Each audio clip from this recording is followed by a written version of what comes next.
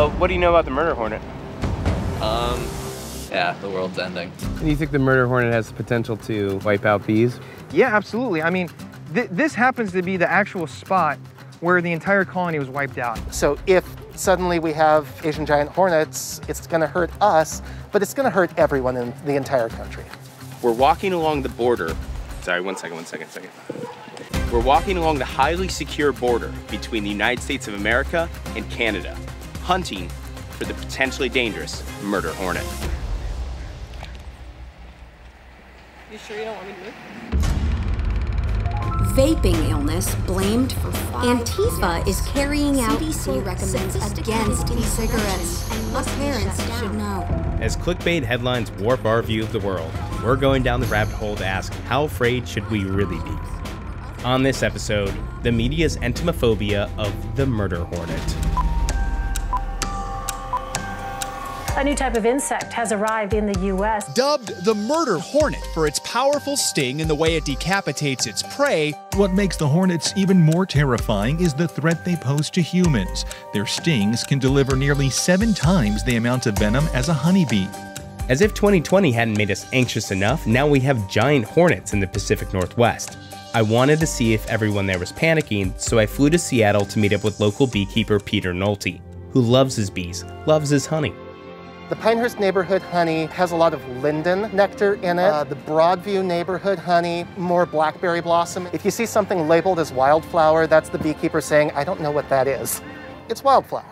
We do not currently have Asian giant hornets this far south. Currently, they're all up pretty close to the border. Last fall, some Asian giant hornets were found both in Canada and just on the Washington side of the Canadian border. So when we started hearing from you know Fran's family customers back in May, you know, what's going on with the murder hornets? First of all, we were like, what's a murder hornet? The New York Times first wrote about the Asian giant hornet's North American debut at the end of 2019 to little fanfare.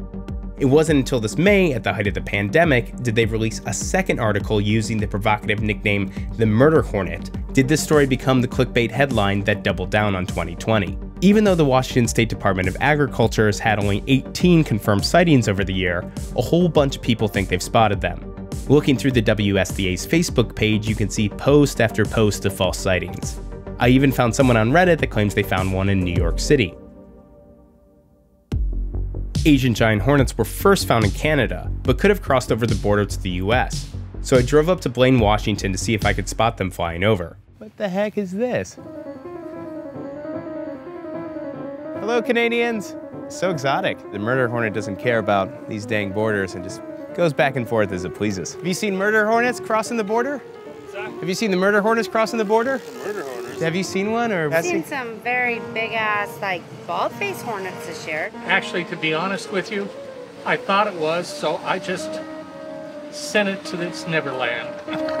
oh, you killed it? You're damn right. There's probably plenty of other stuff we should be afraid of at the moment other than the murder hornet. Surprisingly, nobody seemed too panicked up here. That changed after I met Ted McFall, a beekeeper whose colony was massacred by the hornets this spring. After suiting up, he took me to the scene of the crime. So yeah, t- talk to me about the day that you came out here. Yeah, so I was expecting it to be just a normal, just a normal day, just to, to have a look at my bees, make sure everything's ready for the winter. And as I came rolling up, I noticed a dark spot in front of this colony. And so that's when I knew, uh-oh, there's probably a problem. And so whenever I showed up and I saw all the dead bees everywhere that had been decapitated, I thought, oh, you know, maybe there's still some survivors inside it. So that's when I opened it up, and unfortunately not. Everything was dead. Trying to save his bees from further annihilation, Ted has set up a series of traps to catch the murder hornet. So it has to be big enough for them to fit in, but it has to be small enough to make it tough for them to get out. You just pour it through a strainer, and then and then you see what you got. Oh my God! Oh, there was one alive in there. Here's what we have in this particular trap. You see a lot of these yellow jackets, which they're they're looking for a lot of the same things that the murder hornet is going to be looking for. This one happens to be a, uh, a native hornet. Wow, you can see its stinger out there. Yeah, yeah, That's a big one. They have big stingers. Nothing compared to the murder hornet, though. Yeah, That is a big stinger, and that freaks me out. So I have no idea what would happen if I saw a murder hornet stinger. Yep.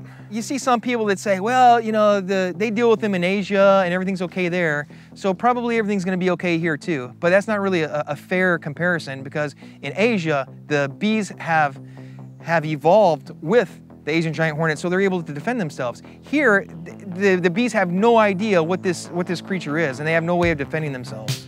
Ted is part of a greater community of citizen scientists who have put out more than 1,400 traps across the region. A small team of state entomologists has set out an additional 700. But is that enough? Hoping to get a straight answer on how dire the situation really is, I met up with Dr. Chris Looney as he checked some of his official state traps, which honestly didn't look any more advanced than Ted's DIY ones. So normally when we survey for exotic pests, we are putting out pheromone lures that are known to be biologically attractive. We have these, it's one of those things where in its native range, people have been dealing with it for, you know, millennia.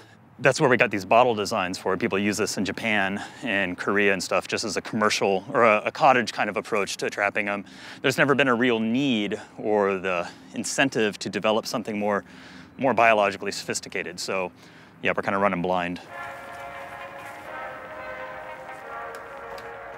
Do you feel like a sense of urgency right now to, to try and trap these things or get some plans in action? This is a species that is really well adapted to living in the environment at large, right? They're social insects.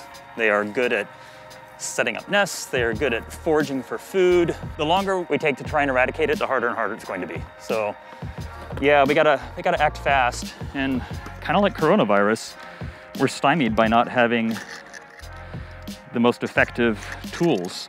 We do know that in every single case where a species, an invasive species becomes established, it would have been cheaper to get rid of it than to deal with it. Mm -hmm. So, mm-hmm.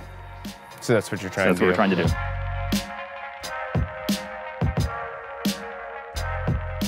Should people across the country be afraid that these murder hornets will uh, show up in their backyard? Uh, I don't think anybody should be afraid.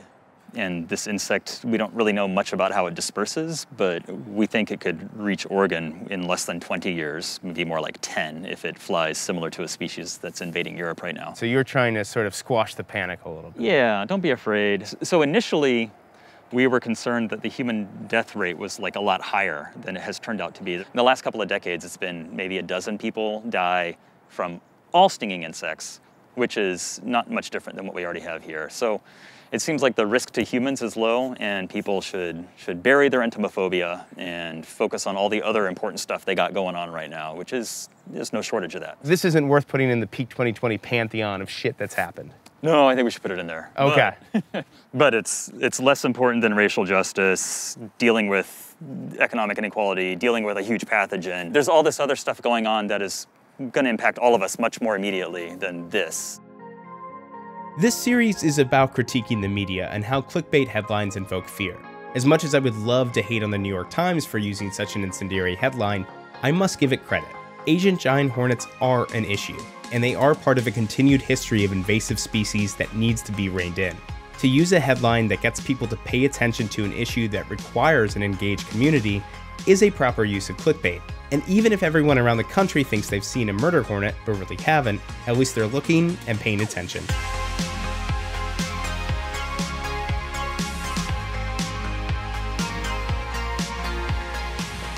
Have you guys seen the giant Asian hornet over there? In, in Canada? The giant Asian hornet, the murder hornet? Haven't? No, no. Is that what you're looking for? That's what we're looking for. Ah, good luck. Thank you. I hope you find them.